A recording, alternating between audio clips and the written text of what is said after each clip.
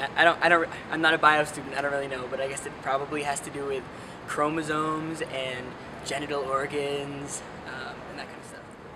I mean, I think on a biological level, it's pretty simple. If you have a penis, then you're a male, and if you have a vagina, then you're a female, right? Okay, well, gender's decided, I guess, by hormones and like the physical composition of someone else. I think on a biological level, it's your chromosomes, right? Whether you're XX or XY determines your sex. So I, I think if somebody has a penis, then that person is a man. If somebody has a vagina, that person is a woman. I mean, I was always taught X and Y chromosomes. Oh. Um, the Y chromosome determines if someone is male, and different hormones will develop different parts of the body to determine female or male. Um, it would be like chromosomes and having the correct genitals.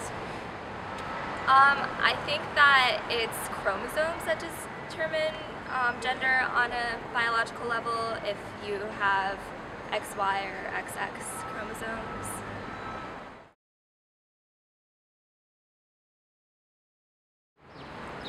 Um, just an intuition thing based on how people look, their body Yes, type. I usually just go off of what I see.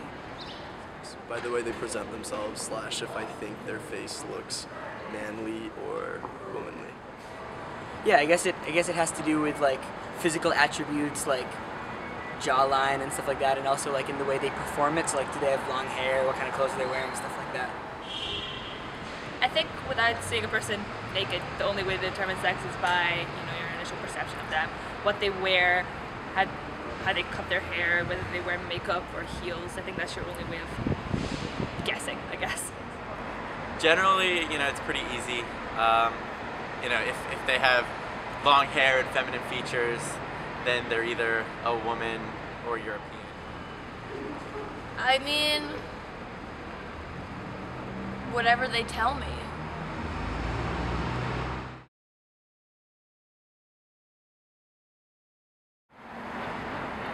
Um, I feel like they should be able to write women if they so choose. If they are anatomically a man, then they have to write man. I mean, I'm not a lawyer, but whatever they feel comfortable with. If they identify as a woman, they should be able to say that on a legal document. I guess it's like the gender that's determined at birth. Um, yeah, I- I think they should write that they're a woman if that's what they want to say they are. That's how they identify.